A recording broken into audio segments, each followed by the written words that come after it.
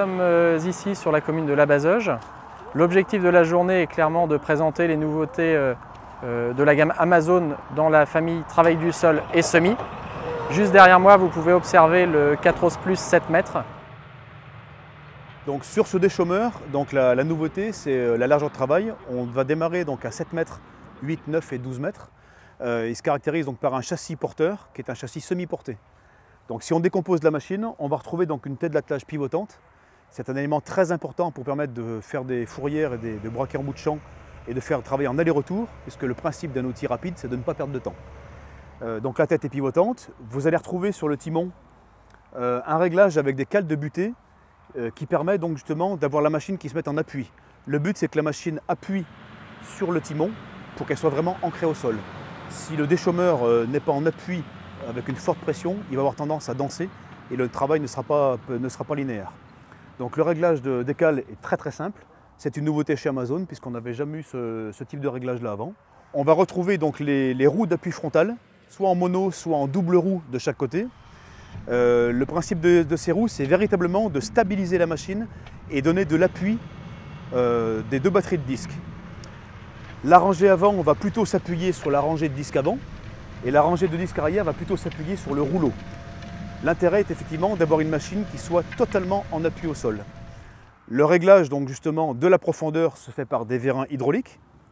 Donc il y en a à chaque batterie, donc c'est en trois éléments. Et vous allez retrouver euh, l'appui qui va se gérer avec un index gradué visible depuis le tracteur.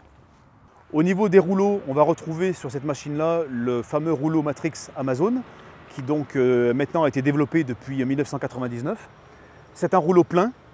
L'avantage de ce rouleau plein, c'est qu'il est donc insensible à la végétation. Il ne va pas se remplir en conditions humides. Là, on le voit aujourd'hui, on est sur du, un précédent maïs grain avec des conditions de terre un petit peu collantes.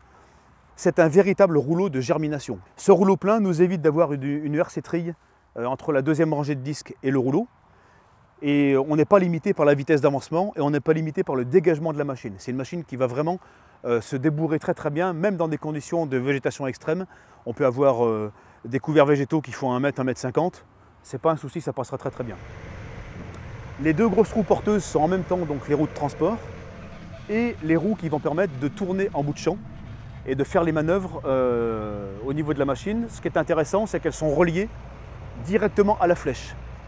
Donc par une simple manœuvre d'un seul distributeur, on va relever les roues et relever la flèche pour permettre d'avoir une machine qui tourne vraiment euh, à l'horizontale. La dernière chose qu'on voit sur, le roule, sur le, la partie machine, c'est le green drill, qui est le semoir à engrais vert. Donc il est d'une capacité de 500 litres. Il est avec une turbine à entraînement hydraulique.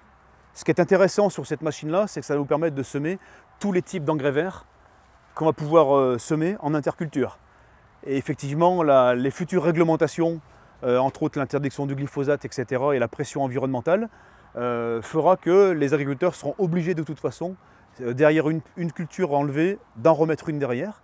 Donc le green drill, euh, il peut passer tous les types de graines, il y a deux distributions de fournis avec, et on vient souffler au niveau des tuyaux jusque sur des palettes d'égalisation qui sont devant le rouleau matrix et qui permettent effectivement, la graine tombe et elle est parfaitement rappuyée par le rouleau. Donc c'est en fait la profondeur de travail des disques qui fera la profondeur d'enterrage de la, graine.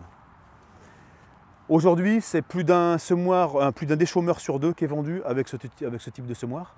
Donc soit en modèle porté ou traîné. En porté, on sera en 200 litres de capacité. Et en, traîné, on sera en 500 litres de capacité. Et ce qui est intéressant pour le concessionnaire et pour le client, c'est qu'il est parfaitement aux normes. Il y a une passerelle, il y a une échelle d'accès. Donc le client est en parfaite sécurité. Et ça, c'est un point très très important euh, qui a été euh, mis en avant par l'entreprise.